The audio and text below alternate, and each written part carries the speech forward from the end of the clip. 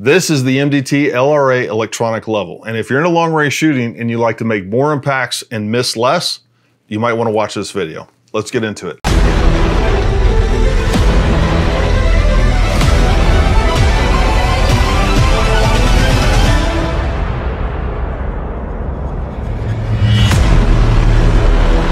Hey folks, Gary here with Paramount Tactical, your source for guns, gear, training, and tactics. It's all brought to you by Real World Experience. So in today's video, we are gonna be going over this MDT electronic level, but more importantly, or just as importantly, we're gonna talk about why it is so critical that if you're doing any sort of long range shooting, you've got to be shooting with an anti-cant device. And I can tell you right now, this is the absolute best option, in my opinion, that I have ever seen. And, and we'll talk about that. We're going to go over the features of it. We're going to go over all the different options that this that is available with this, as far as mounting options and things like that, and just make sure that you're an informed buyer. But I will ask that at the end of this, you decide you want one of these, folks. We are an MDT dealer, and I would really appreciate if you purchase from us. That's what supports this channel, and we want to bring you the best gear possible. And after a lot of research and a lot of testing but I think you're really gonna be impressed with what this device does and how it can help you be a better shooter. So, you know, for those of you that don't know, folks, it is critical that when you are shooting at distance, especially at all distances, but especially, you know, 300 yards and beyond, and definitely into that thousand yard range, folks, we got to make sure that that gun is plumb, it is straight, it is level, and we're not introducing cant. You know, even when you're mounting your optic, folks, you have to make sure that that optic is mounted perfectly straight up and down and level. It's plumb, right? You got to make sure there is no cant built into that mechanically. And the, the problem with this is a lot of people don't mount their optic correctly, or while they're shooting, they're introducing cant.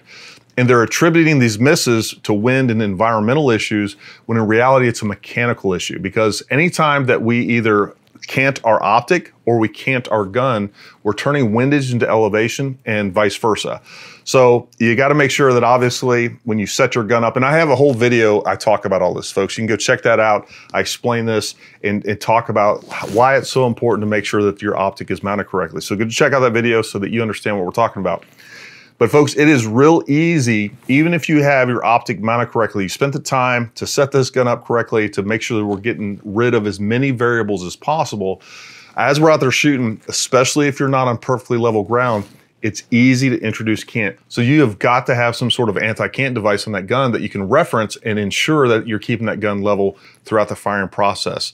Because you could have the exact right dope, Wind won't even be an issue. You're going to get miss, miss. And folks, we see this all the time on our firing line. We run a long range school and we'll have students down there. I know the data that I give them, the elevation and windage, the dope that I gave them is good. And I hear pow, miss, pow, miss. I'm like, hey, double check your level. Make sure you're good and level. Next thing you know, pow, ping. Nothing changed other than they got that gun upright. And it's, again, it's something that you won't even realize you're doing. You'll feel, you feel like everything's perfectly level, but the gun's not. And so this is what this helps. Now, what I've used in the past, folks, is some sort of just analog level. Uh, here's an anti-cant device made by US Optics. We have a bubble level that I can see as I'm shooting with my non-shooting eye. And then what I also like about this is the fact that it folds out of the way. And I've always used some sort of anti-cant device. And again, folks, it's critical to make sure that the gun is zeroed using an anti-cant device or your data is going to start off bad to begin with. And then obviously all throughout that firing process, making sure that, so this is a critical piece of equipment. This to me is just as important as a good gun, a good optic, good mounts, all those things. And it's the one piece of equipment that people often don't think about or don't utilize and it's costing them time, money, wasted ammo, and a lot of frustration. So get some sort of anti-cant device. So I'll tell you right now, in the past, I've been very hesitant to use one of these electronic levels. And I'm sure for probably some of the same reasons that you guys are thinking about right now. Number one, I don't know how accurate this is. I don't know how reliable it is. I don't know how sensitive it is compared to, you know, this, this device down here. Well, I, I have some pretty interesting news for you because when it comes to the testing, and I'm going to show you that testing, uh, this is definitely a superior product. The other issue that I had was I love the fact like these US optics, which we sell, we still sell on our website, they're great levels, is these fold out of the way. On this device, this particular one, the way this works, it sticks out off to the side. And I didn't like that. But guess what? There's some additional mounting options that can definitely greatly reduce the profile, which I'm gonna go over right now. So the first thing I think we need to talk about is making sure that this thing actually works like it's supposed to. And I'm gonna take you through that as well as some of the different options and cool features about this device. Got my handy dandy little overhead cam right here. I wanna take you through this, just unbox it. When you open this up, this is what you're gonna get. We got a piece of foam down there. We have a mounting screw, a hex head, and we have the device itself. So one of the things I love about this is the simplicity of it, folks. There's only one single control knob on here. This turns it on as well as controls brightness. Uh, right here is as dim as it gets, and it is, when you're actually looking at it, it is very dim. I have the I got the ISO turned up here so it looks brighter than it actually is. But as we turn this up, it gets as bright as you could possibly need it. So it is daylight bright. It's gonna do everything that you need it to do. And I will tell you, I would easily take this hunting or anything like that. It gets very dim. Maybe that's a little bit better representation. It gets very dim, but you can still see it. Uh, the only time that I wouldn't use this is if I was still operational and I'm running around in a tactical environment. You know, if someone had night vision devices, this would probably create a pretty big glow off your face. Um, but for the rest of us in a normal world, that's not something that we need to worry about. So one thing I was concerned about was leaving this thing on uh, folks, it's going to happen. I know I'm going to leave it on sometimes when I'm done shooting, and you are too.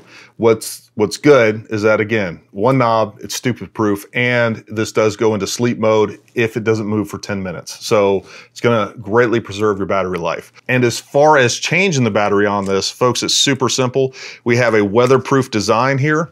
We have a gasket that goes all the way around, but we're just pulling this out of the tube. So if it's mounted on the gun, all you got to do is, is give it a pull and then this housing cover comes off. And then right here, right here, we have our battery.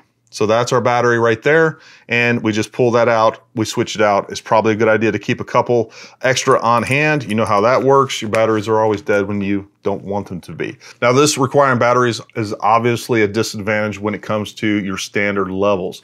But I think there's some major advantages of this over that standard level that in my mind far outweigh uh, any disadvantage we have with batteries. I'm going to keep a couple extra batteries on hand. That to me is not a big deal. And obviously, if you're that concerned about this running out of batteries or malfunctioning out in the field, clearly you're doing some pretty critical stuff. So it's probably not a bad idea to have one of these extra analog levels either mounted to your gun or in a pack ready to go if you really need it. So those are some ways that we can overcome that particular disadvantage. But let's talk about the advantages of this over one of these. Now, if you look at this level right here,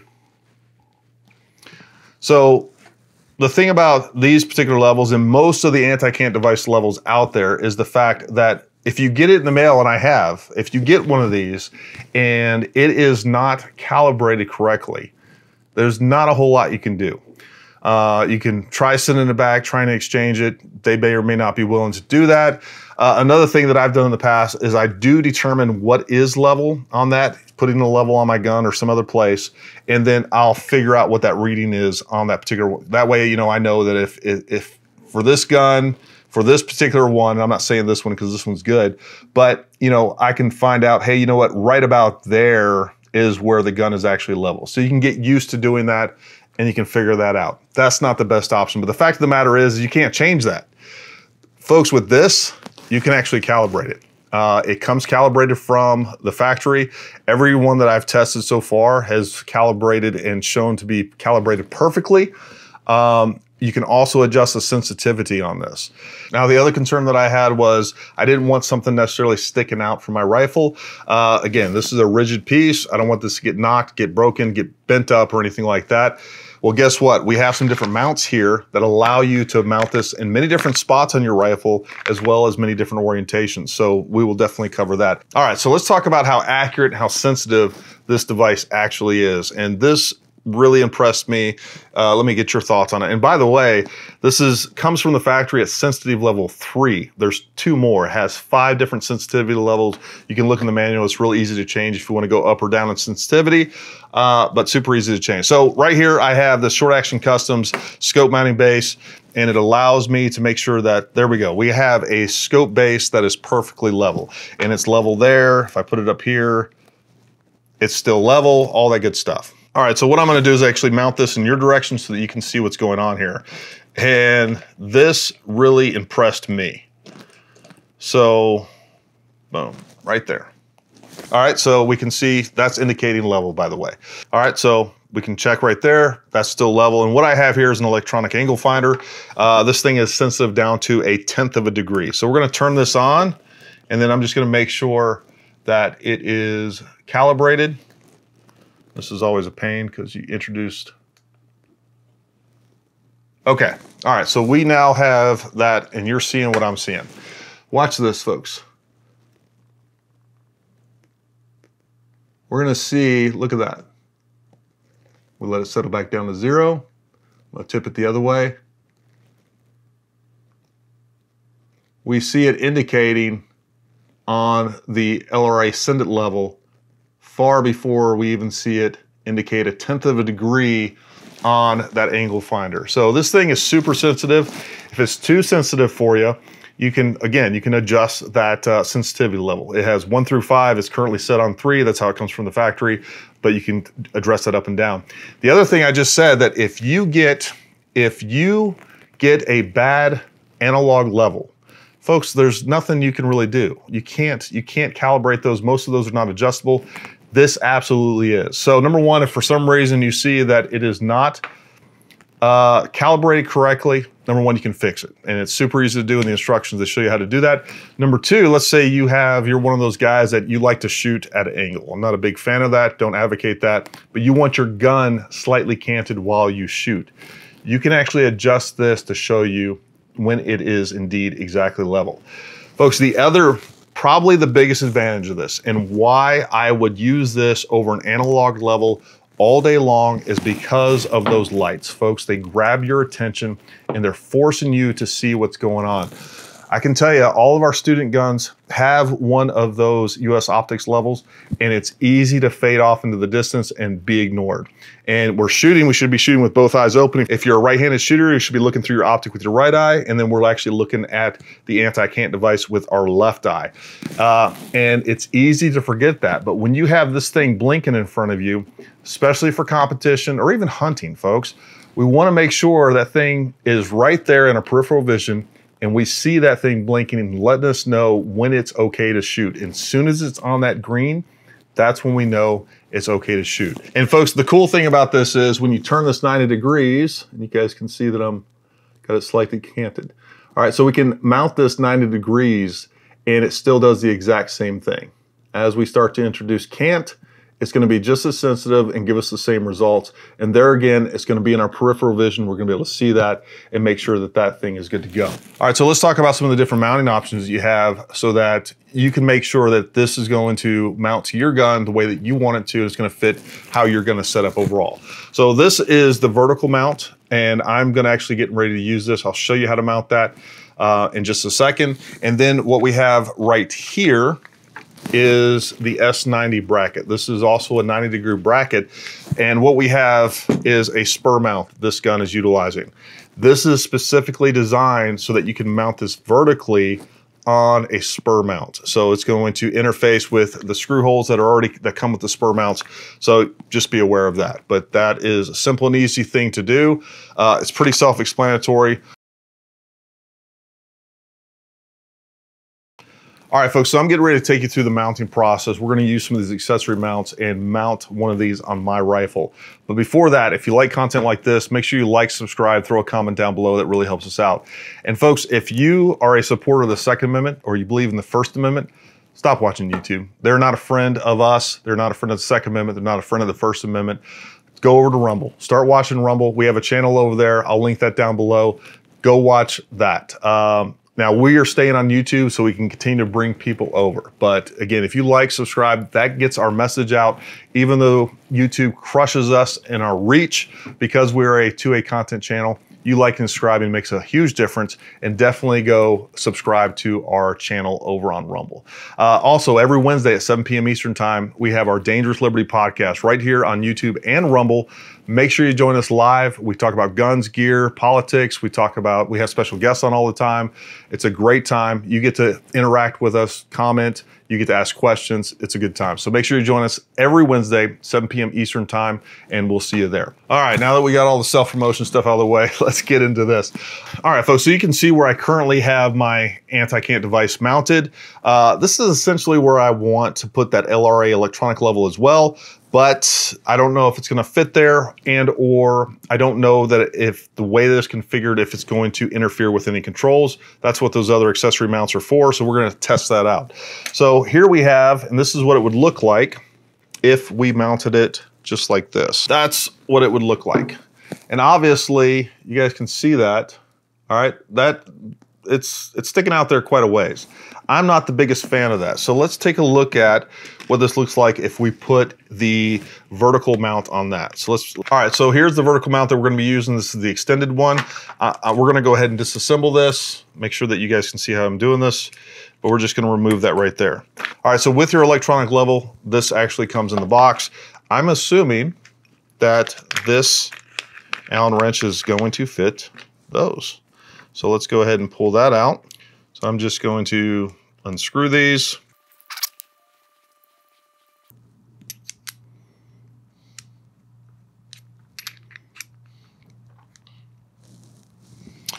So look folks, you can see how that attaches. All right, and this goes right here. That's our thumb screw. Now, if you're left-handed, you're putting it on the other side. All right, we can just flip that around. It's gonna attach just like that. All right, so you can see right here, let me get some good light on. We have some different mounting options, right? So we have all four of those, then we have the large screw diameter in the middle. So that's all we're gonna use right here. Make sure that it's facing the right direction. And folks, I'm gonna tell you, so this is going on a gun. Anytime that anything's going on the gun with fasteners, I'm putting some Vibratite on that. So let me grab that real quick. And folks, Vibratite is far superior for any sort of fasteners, including scope rings, whatever you're putting on a gun over Loctite. It stays tacky. I talk about it in all the videos, scope mounting videos and everything else. Uh, it just holds up to recoil. It doesn't break down. You can actually take this apart and refit it because this stuff stays soft and gooey uh, it just works better overall, but you can actually take this apart, put it back together, and it's still going to have those thread locking properties compared to Loctite, which will not. It will break down. Stuff doesn't, I, have been using this stuff for a long time. I haven't seen it break down over time either. I'm sure it does degrade to some extent, but there again, you can take this apart, put it back together, and you don't have an issue. So anytime a fastener is going on the gun, I'm putting a little bit of the Vibratite on there. It works really well. All right, so now I have that fitted. Um, I am not going to go crazy with this. I probably put, I don't know, maybe 15 inch pounds of pressure on that. All right, so that's what it looks like right there. We got that reassembled. Now let's take a look at how it fits on the gun and if we have the clearances that we need to be able, still be able to see our controls and all that good stuff. And one thing I did mean to mention, folks, look on this. So if you end up putting this underneath the scope or even like we're gonna put it on the rail right here, it does have some relief on the mount itself. So it will allow you to get in there. Even if you have a really low mounted optic, you might need to put mount this first and then you can mount that optic. Uh, obviously just do whichever you need to do to make sure that you have the clearances and everything just makes sense. Look at that. All right, so I'm just mounting that up. All right, folks, so now you can see what's going on here. And what I like about this is that I can still see exactly where my parallax is as well without coming off that. But folks, that's the thing. As you're sitting there and you got your, you're looking through that optic, you're not gonna forget about this, right? You are not gonna forget that that's there. And again, let's, let's just play around with getting this thing perfectly level. There we go. All right. So you're not gonna forget about that. And that is going to be your reminder to make sure that you're making sure that before you pull the trigger that you can see what's going on and it's going to let you know whether or not that gun is level or not. So that is critical and this is another reason why that's probably the main reason, folks. It is so easy to forget about your anti-cant device and when that thing is blinking, you're not forgetting about it. You're going to remember and you're going to get in a good habit of seeing that green before you send it down range. So I, folks, I really believe that the overall benefits of this far outweigh any disadvantages that we have because it's battery ran. It's not a bad idea. And you guys can see right here, I do have a backup on this. This is pretty accurate. It's definitely not as accurate as sensitive as that. So I love this thing. It is it is just a great piece of kit because I'm telling you folks, you are you are missing a lot a lot more than you think because you don't keep that gun level. It is critical. And especially once you get out past six, seven, eight hundred yards, if that gun's not level, folks, you're introducing cant and you're you're turning your windage into elevation and, and, and vice versa. And it's not a good thing. It results in misses. It's as simple as that. So that is a really cool piece of technology that is making shooters better. So folks, I can't state it enough, especially if you're a competitor or you plan to be, or I will even say hunters none of none of you can afford to miss shots. None of us want to miss shots. We're just wasting expensive ammo, right? So, you know, put this on your gun. Don't leave home without it. I think it will make a huge difference. Uh, and you know, so many people will spend so much time and money if they could increase their impacts by 5, 10%. But I'm telling you folks, that little device will dramatically reduce your misses. It's as simple as that. It will make a bigger difference than you realize because nobody realizes their guns are canted and the other half don't realize that their optics are canted. So again, I got videos for all those things as well. Well, there it is, folks, the MDT LRA electronic level. And folks, I hope that was helpful. I hope that was informative. I'm sure I left some things out. If there's anything that I didn't cover or you have questions, make sure you leave those down in the comments below. I'll try to address those. And seriously, if you plan on getting one of these, we'd really appreciate the business. So go to ParamountTactical.com. The only gear that we carry, folks, are items that we've personally tested and we believe in. We think that everything that we put on our website is directly tied to our credibility and our reputation.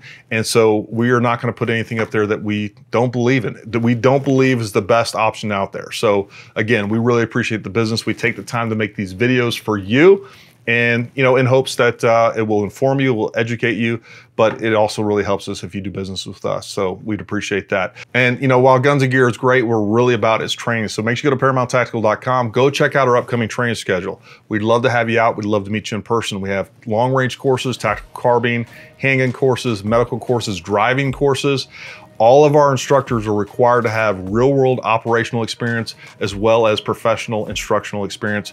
All of them have instructed or currently instruct for federal agencies and or the military. So we'd love to meet you. So come out and train with us. You'll be glad you did. I promise you that. All right, folks. Well, we appreciate you watching. But until next time, stay armed, stay ready. We'll talk to you soon.